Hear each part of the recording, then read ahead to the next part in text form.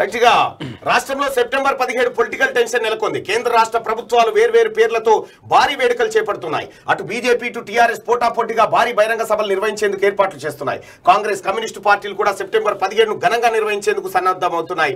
తెలంగాణ ఆవిర్భావానికి ముందు తెలంగాణ విమోచన దినోత్సవాన్ని అధికారికంగా నిర్వహించాలని డిమాండ్ చేసిన టీఆర్ఎస్ ప్రత్యేక రాష్ట్రం ఏర్పడిన తర్వాత మాటే మర్చింది.